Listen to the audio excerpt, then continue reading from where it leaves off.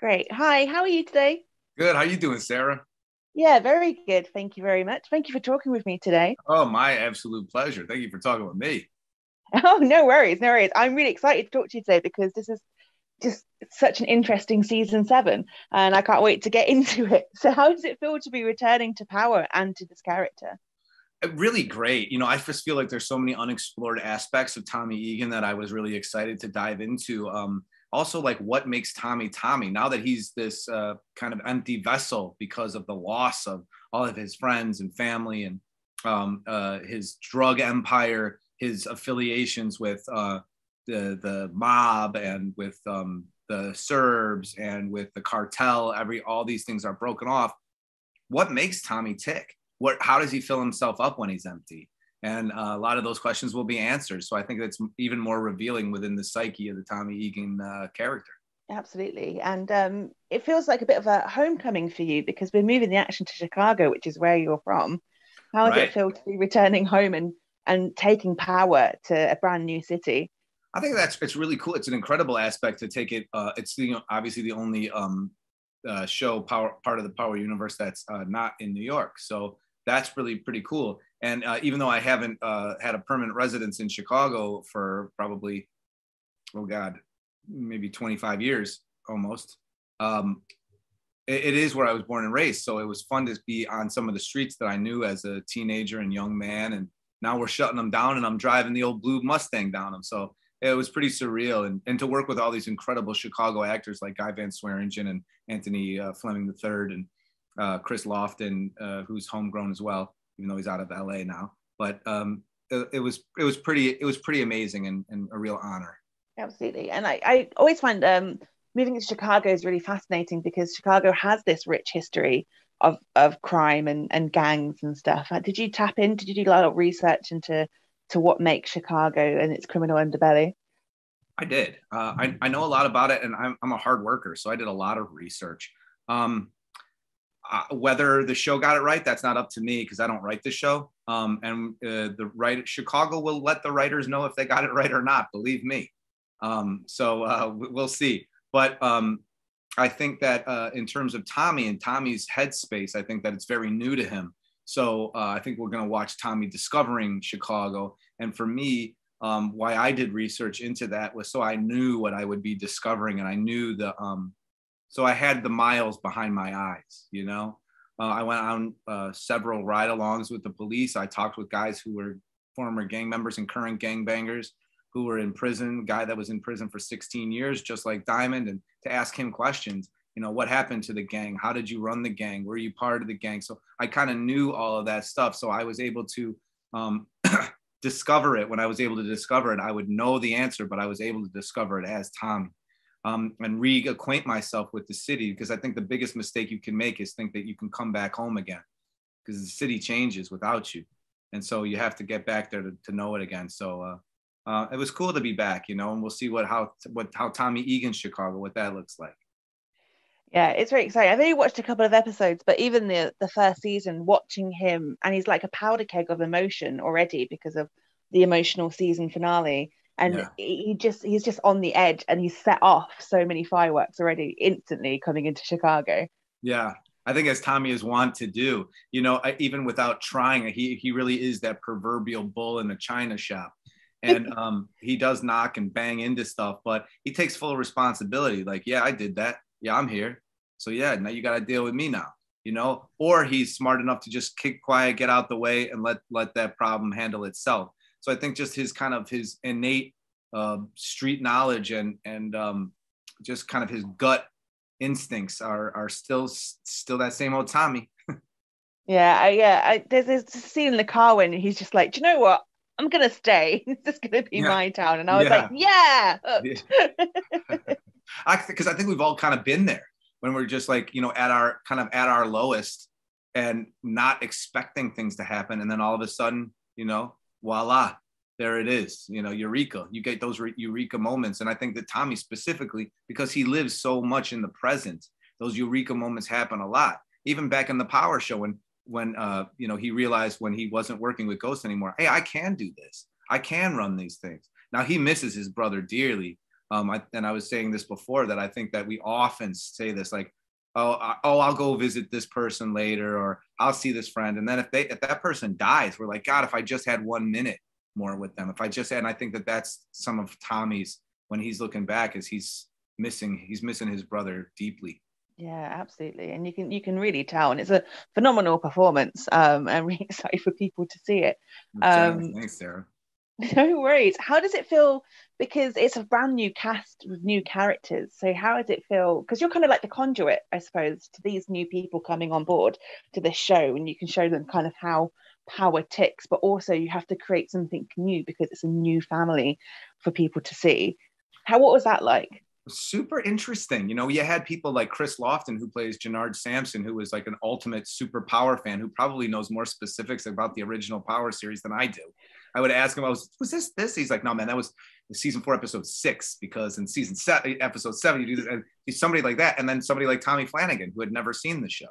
So you have two totally different styles of actor, or at least in terms of knowledge of the Power universe, and absolutely every bit as committed and beautiful and brilliant and present as as the next. I mean, the cast was phenomenal from uh, fellow uh, Brits of Tommy Flanagan and Gabrielle Ryan, who are incredible people, to um, the other unbelievably uh, uh talented and uh, beautiful Lili Simmons and her beautiful and talented brother uh, Shane Harper, who's a great human being, but also Isaac Keys, who plays this plays Diamond Sampson, who brings this you know semi stoic and um, kind of wise wisdom of, of, of the streets uh, to the character as well. So I'm really, I think the cast is just outstanding and I can't wait for everybody to see. Absolutely. Yeah. I heard from a lot of cast members that you were quite helpful in getting them, um, getting them involved in power and stuff. So, so they couldn't sing your praises enough. Oh, I'm I'm grateful to hear that. But I I really I mean I'm being super serious, Sarah. Like the the vibe on set was so professional, so nice people were on time and there to work but you know with also with this freedom of like hey we're just a bunch of gypsy actors. Like let's make something great. Like let's really get into it. And i couldn't be more proud and humbled to be part of that cast. Absolutely. And everyone puts in a really great performance. As you said isaac keys and tommy flanagan who kind of play these opposite end streetwise like gang leaders um that tommy has to like bounce between i guess whilst creating his own own kind of like show in Chicago. Mm-hmm. So how, how did you develop that with those two characters? I think I think I think that's a really fun dynamic actually to bounce back and forth. And I think that um, you know the the subject of race is still so taboo both in England and uh, United States that um, I think that it's it's really cool that we get to tackle it in a way that Tommy Egan is tackling it from you know not being ignorant to the fact that he's a white man in America, but he's from a certain cultural background that is totally different than the Flynns, who are rich and privileged. Even Walter Flynn, who may not have come from that, is viewing Tommy in a way that, it, oh, you're like us. And Tommy's nothing like them, but he looks like them. And I think that um, Tommy is expecting the black side of uh, town with, uh, you know, um, Jenard, but certainly Diamond to be like, no, no, you get me. Like, we get each other. Like, I know I'm white and everything, but like, you get me, right? And he's like, nah, man, you know, not at first anyway we may have to work together and there's something about you but it's slow process so you know it's not moving even as fast as it's moving in, in the storytelling is maybe not moving fast enough for tommy or he's aware enough of like okay this isn't new york. You know, i'm not in kansas. Dorothy's not in kansas anymore you know? So it's, it's pretty, that's that's a fun a skewed version of the world for tommy to live through. Absolutely. Um and he sort of he has great you have I mean, you have great chemistry with a lot of cast members. I really love your um chemistry with gabrielle ryan as well because she's yeah. kind of an interesting player in in the power universe because she's kind of again doing her own thing but she's got these connections. Um how does it feel developing that relationship with gabrielle? Well she's an incredibly talented actor. She's giving and she's just um a joy to be around. She's just such a kind wonderful person. So um that it, it, coupled with the fact that she's incredibly talented um, I had a great time on set with her. Um, I, I, really, um, I, she's a great human being. Um, I think that people are going to love the Gloria character, especially when little secrets pop out about her past here and there. So I wouldn't say it's necessarily a love triangle between Gloria and and Vic and Tommy, but um, definitely there are will be rivalries, and uh, she is a linchpin character for sure. Amazing, amazing. And speaking about the secrets in the past, it, like we've mentioned before, there's going to be a lot of backstory uh, for Tommy to be explored. How fun was it getting into specific elements of his story? Because it's even from season one, you're like, oh wow, this is really interesting. That's one of the reasons why there's a spin-off is I think that they we never really dove into when we did a little bit, like even with Tony Teresi, um, and you know the whole father thing and, and being there with Tommy and understanding. I think what I love, and we have a, a few of them in the Power Book Force, is the quiet moments with Tommy, the thinking Tommy. And it's not like thinking like ghosts, like super fast strategizing. It's just thinking and being right there, right now. I just, it just feels to me that that's something that people tell me. And even when I'm watching the show, it seems very relatable to myself are these quiet moments before the storm or after the storm. Um, and I'm excited for the audience to see some more of those moments too with them. Amazing. Is there any particular episode that you think you can't wait for audiences to watch? Or 10. You know, episode 10.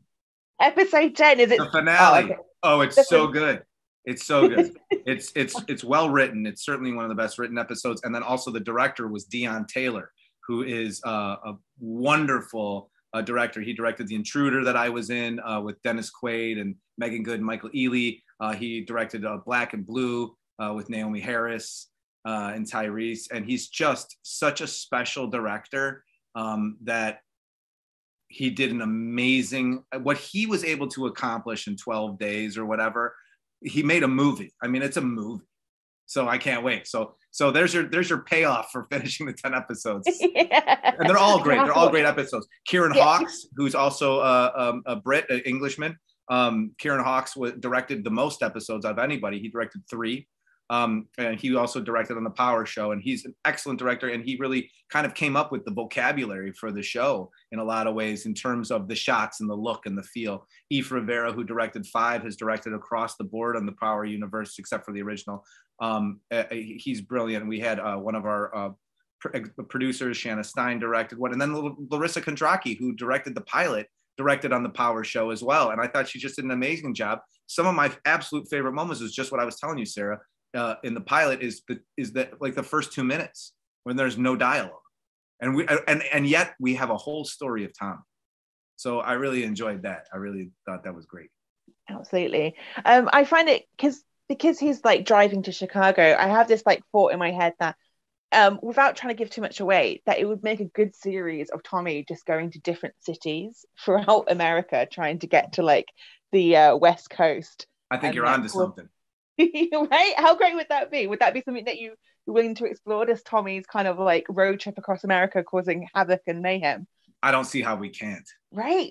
it would be really good. Mm-hmm. Um, if if you could sum up this series though in three words for people to get like hooked on power uh, in Chicago, what would it be? Have you heard the theme song? yeah. I would say power, powder, respect. Amazing, amazing. Well, thank you so much for talking with me today. It's been an absolute pleasure. I can't wait for people to see the show. I was instantly blown away from the first episode. So you have very infectious energy, so I'm very happy to talk to you. oh, thank you. Well, I hope you enjoy the rest of your day. Thank um, you. You and too. I can't wait for the show to start. Take care, my love. Thank you, Sarah. Ladies and gentlemen, you're watching Hey You Guys! Hey You Guys, huh? Hey you guys, is that yeah. from the Goonies? It is indeed. Nice. Hey!